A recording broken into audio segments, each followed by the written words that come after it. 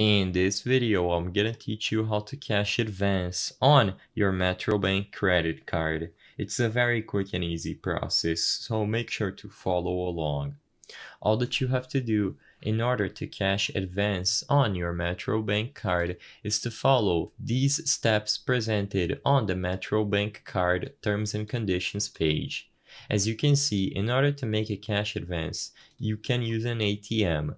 First, insert your Metrobank credit card in the ATM. Insert your 4-digit Metrobank cash advance PIN. And once you are signed in properly, you will be able to choose withdraw, get cash, or simply cash advance. You will then be able to input the amount of money that you wish to withdraw and if the money is available on the specific ATM, you will be able to remove your credit card and receive the cash that you selected on the ATM.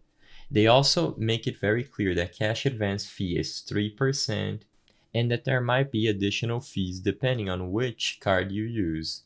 As long as you follow these steps presented on the terms and conditions for the Metrobank card, you will be able to acquire your cash advance money right away as long as your card is included in the feature. You can find more information related to cash advance by searching it up on the Metrobank website and browsing through the articles that they have here. They present frequently asked questions that you might have when trying to deal with cash advance and how the fees work.